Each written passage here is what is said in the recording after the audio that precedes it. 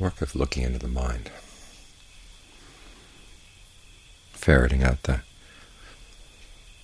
causes of suffering, and figuring out how to put an end to them.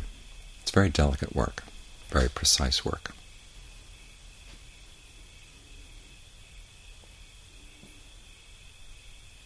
Which is why you have to get the mind very still in order to do it. It's like threading a needle. You hold your breath, get the rest of the body still, and then you can very carefully stick the end of the thread into the eye of the needle. But it requires more than just stillness. There has to be a sense of well-being as well.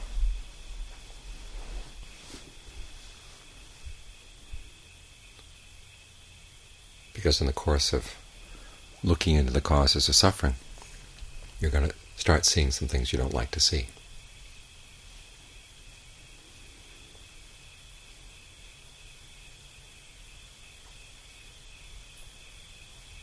Way different parts of the mind are working at cross purposes, and how one of your desires for happiness may run up against another desire for happiness.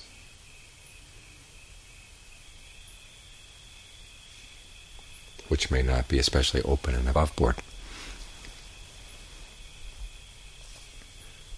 Because when you look at the mind, there are many different selves in the mind, many different ideas of who you are, what you want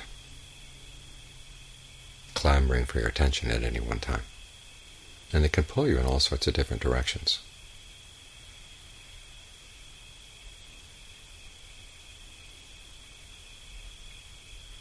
And there's some desires that you act on, but you don't feel very good about acting on them. And so you tend to hide them. And these are the ones that cause suffering.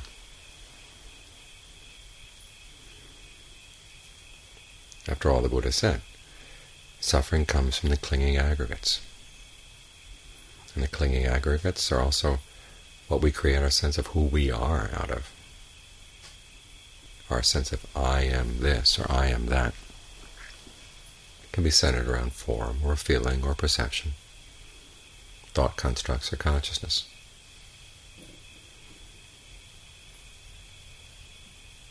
And as soon as we slap the label of I am this or I am that onto something, we're going to cling to it. And there you are, suffering. Suffering is bound up in how we define ourselves. And when we start trying to ferret out the causes of suffering, we're going to find part of ourselves being attacked. They're going to fight back.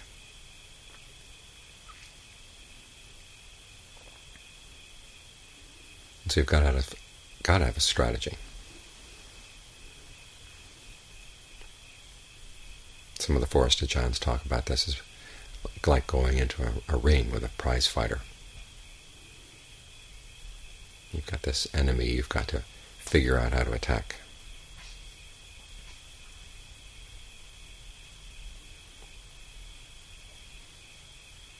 Other Ajaans say, well, actually you have to learn how to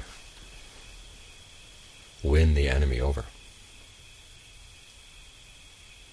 Use whatever strategies you can to take your defilements and make them work for you.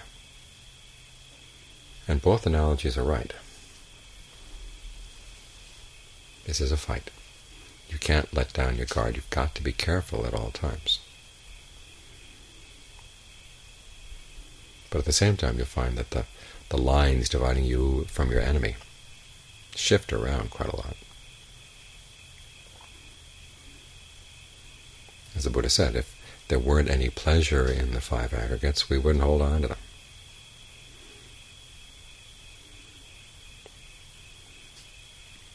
Sometimes you hear scholarly monks explaining things. They're the five aggregates, and you hold on to them, but you really, if you look at them carefully, they're not worth claiming as yourself. See, they change. You can't hold on to your form, you can't hold on to feelings, perceptions, thought constructs, consciousness, understand. It's all very logical. As if all you have to do is have it explained to you once, and that would be enough to say, oh, I made a mis category mistake. Well, I won't make that again. If your idea of self were totally suffering, you wouldn't hold on to it. The problem is that it also gives you a certain amount of pleasure. Part of this is because your strategies for happiness.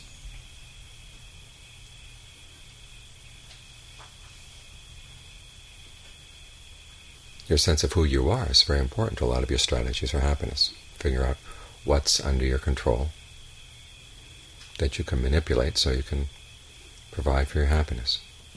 Without that sense of control, you'd be totally lost, which is one of the reasons why we don't give in so easily when someone says, well, obviously the five aggregates are not self, so just stop calling them self and you'll be happy. The mind doesn't work that way. Part of it says, I'm being deprived of my strategies for happiness. How can I let go? And the Buddhist strategy is to say, well, teach you new strategies, new ways of looking at things.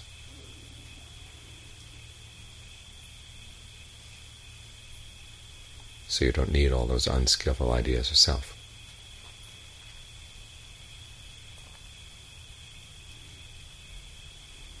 But your sense of self is not a, an abstraction. It's a particular strategy, and there's many different types of selves, and you're going to have to ferret them out one by one.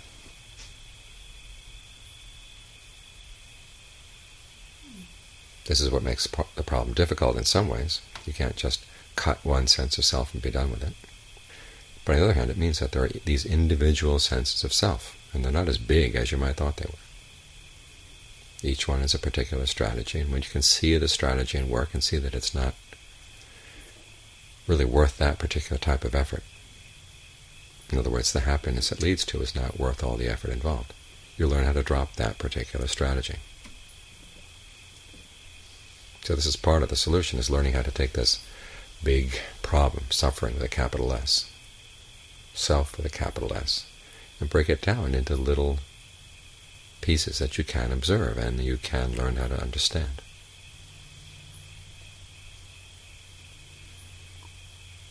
And in each case it involves seeing this particular pattern arise, watching it pass away. So you see that it is an individual pattern. It is an event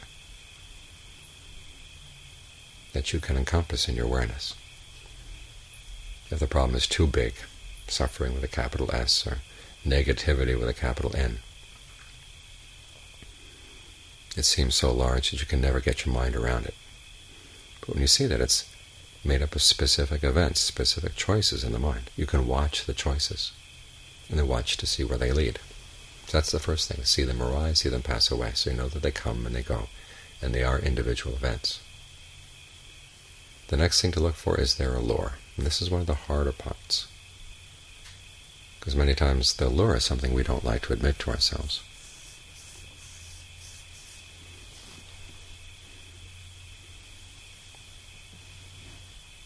For instance, if we have low self-esteem, on the surface it would seem who would want to deal with thoughts of low self-esteem? Who would want to entertain them? They're so debilitating. But they have their upside. If other people seem to have a low opinion of you, that means not much is expected of you. You don't have to work too hard.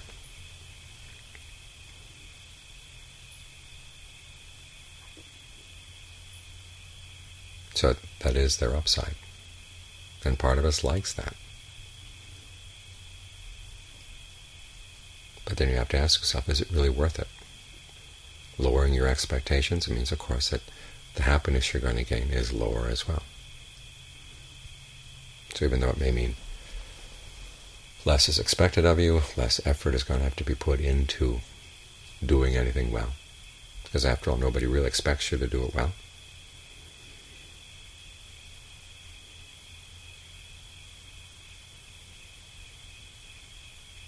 but then you don't get the results of having done anything well either.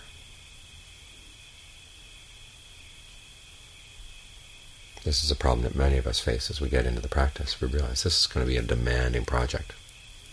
It's going to ask a lot of us. We tell us, I don't want to take on anything that large. Let me go back to areas where not so much is asked of me. But then you've got to remind yourself you're turning your back on the possibility for a deathless happiness. Is it worth it?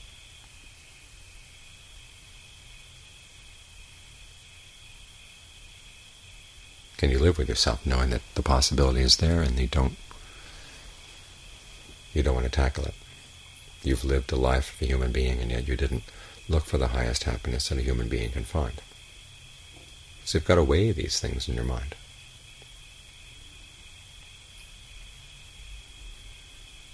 Look at the allure of that particular mind state and then look at its drawbacks.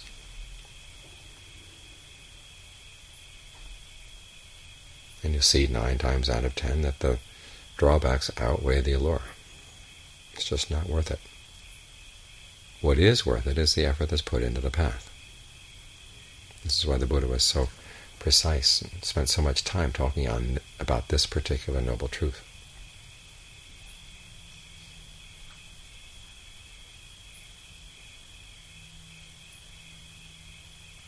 Because this is a, a path of effort that does yield good results, way in excess of the effort that goes into it. As you want to be very clear about what you can do to build up the mind, to build up its strength, to build up its capabilities.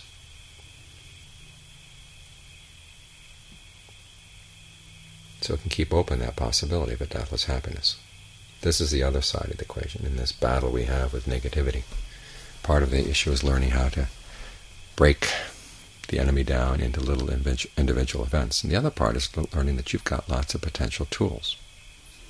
You're not defenseless. It starts with the breath. As the Buddha says, you learn how to breathe in different ways.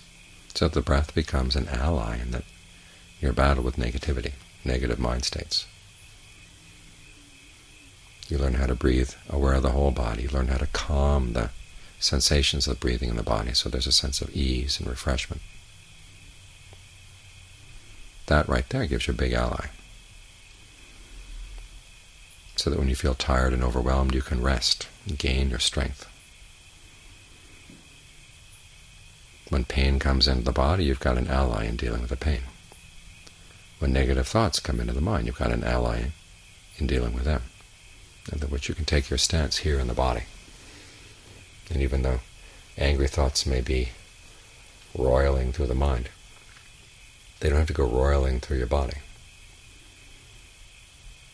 you can consciously keep that awareness of the breath, whole body breathing, calm breathing, full, refreshed, easeful.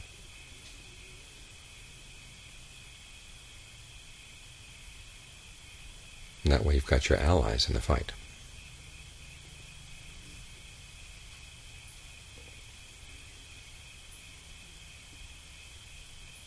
So the parts that you've been identifying with, the negative thoughts, they begin to lose their appeal. You realize that you don't have to identify with them, and you don't really want to either, once you really take a good look at them. The other night I was reading a passage from Upasika Kee in Thai, where she was saying when real insight comes, it's not a matter of the insight comes and then you decide to let go. The insight comes and it's there's a letting go right at the same moment. If you fully understand it, this habit you've had, that you've identified as part of your arsenal, part of yourself, leads to bad results. And you can develop other habits in its place. Once you really see that, you let go. It's like knowing that you, if you stick your finger into a flame, it's going to hurt, but you don't have to stick your finger. You pull it out immediately. That's it. And you never put your finger into a fire again.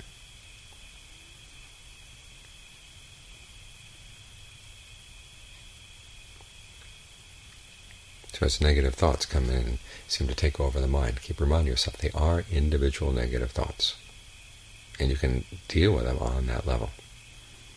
Beware of the tendency to deal in large abstractions. Because that's part of their guise. That's how they come in and push their way into the mind. by making themselves look big. So keep reminding yourself they're just individual events in the mind.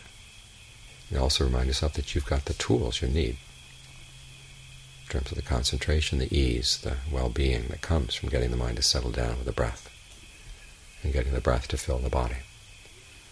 That's only one of many allies that you can call on, one of many skills that you can master.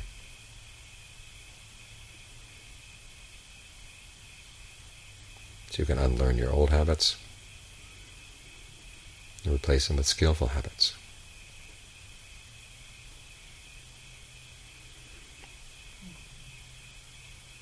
That your sense of well-being, your desire for happiness isn't so divided and conflicted.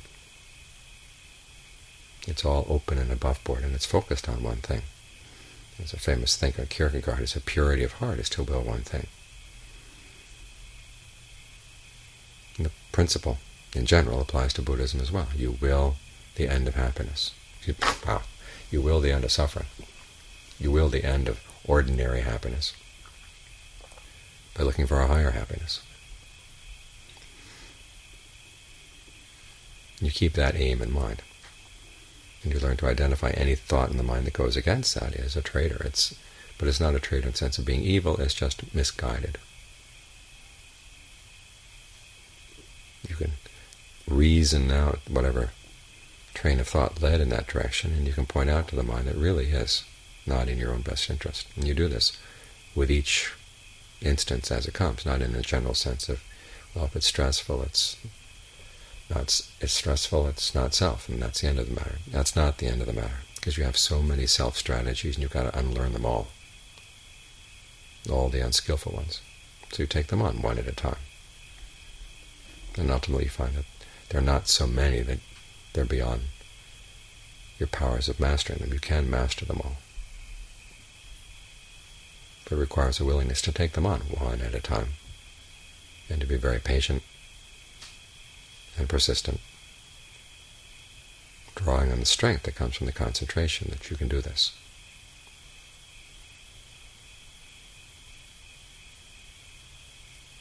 That's how you come out winning in the end.